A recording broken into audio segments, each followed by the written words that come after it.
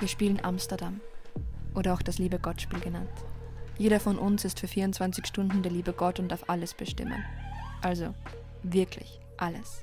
Dass die mal so auf exklusiv machen müssen, das pisst mich wirklich an. Wenn du Göttin bist, darfst du alles machen. Mein Name ist Stella Massini.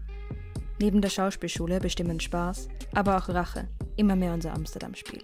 Du bleibst da. Kathi ist die Göttin und du behandelst sie so, okay? Könnt ihr bitte eure Machtspiele außerhalb der Schule austragen? Wir haben etwas falsch gemacht. Und das Einzige, was mir durch den Kopf geht, ist ein bescheuerter Typ und die Angst, wieder ins Gefängnis zu müssen. Naja, wir müssen da alle durch.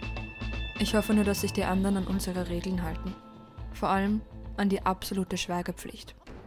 Hast du irgendwas weiter erzählt? Ist Org? Sicher nicht. Also, äh, Stella, das hier ist Theater und nicht Wirklichkeit. Habt ihr Angst vor mir? Du bist so ein Freak.